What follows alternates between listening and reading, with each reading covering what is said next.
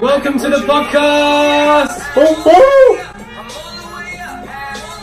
All right, so let's say now we've realised pro's not going to happen straight away. I'm, I'm going to come to US for play college soccer. We spoke about kind of the pathways around it, but what is it really like? Like you know, you know, you've seen some of the success stories now, players mm-hmm. coming out here.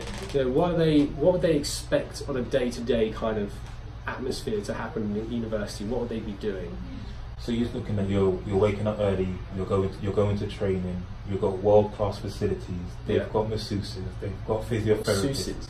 Yes, they've got people. To, you got like a pro team around you you. got a pro team around you to make sure that you're at, on your peak level of fitness. Yeah, Um, one thing that you know about America and American sports in general is that fitness is a key aspect. yeah, So before you even come out here, they need to be fit because they don't want to waste the first six months of Yeah, their yeah, yeah. time at the university. So it's making sure they're fit, ready, prepared, and coming out here. And then it's like the, like I said, facilities are world class. The the coaching level, you're getting a lot of like really good coaches at university level now.